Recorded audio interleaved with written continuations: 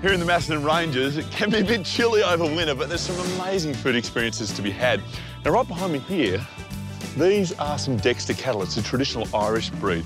They're fantastic. They make good beef, but in this case, they're making incredible cheese. As you can see, they don't really mind me being around, but if you want to see just how friendly and docile these cows are, let me show you something. Come on, look at you.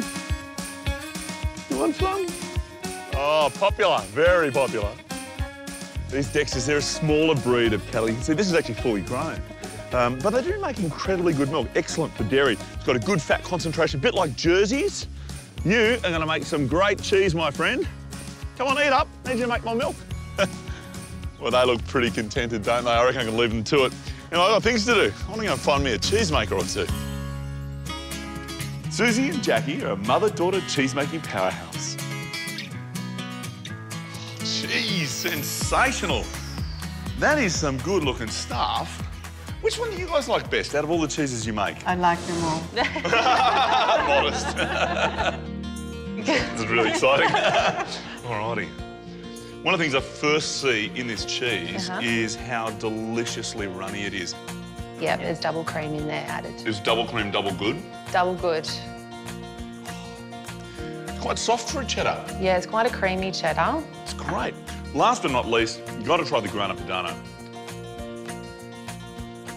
Oh.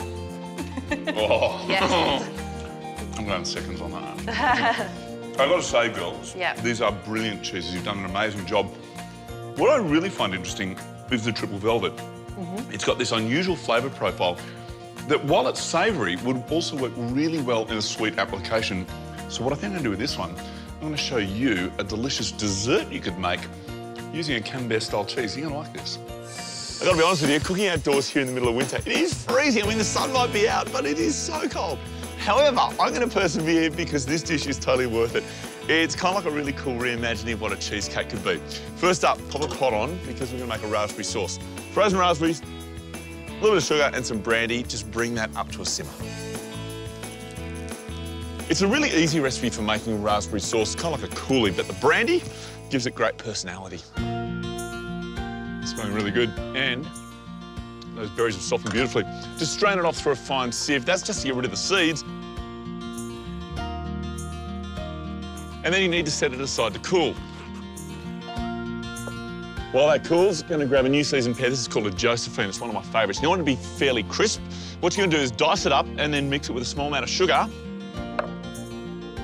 and a little bit of vinegar. Yeah, vinegar. I know it sounds a bit weird, but trust me, it really works. This will cut through the sweetness of the raspberry sauce perfectly. Oh, and remember, we're pairing it up with cheese, so we're already trying to walk that sweet, savoury tightrope. Trust me, it's going to work beautifully. Believe it or not, we are ready to put this dish together. Start with some of that gorgeous triple velvet cheese, a nice slice, and spread it with the side of your knife. You want to keep this nice and rustic. Don't worry about making a mess. It's meant to look really freeform.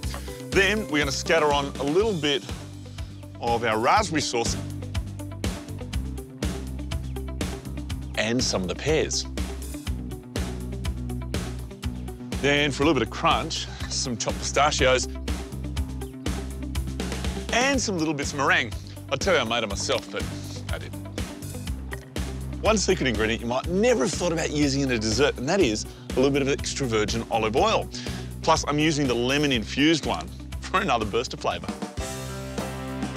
What an absolute masterpiece. I'm so thrilled with this. It's come up beautifully. Isn't it amazing to think that all this came from those tiny little cows? Well, it's a little dessert, probably makes sense. But it might be small in size. It is big on flavour and a completely new way for you to think about cheese. I might even say it's utterly delicious.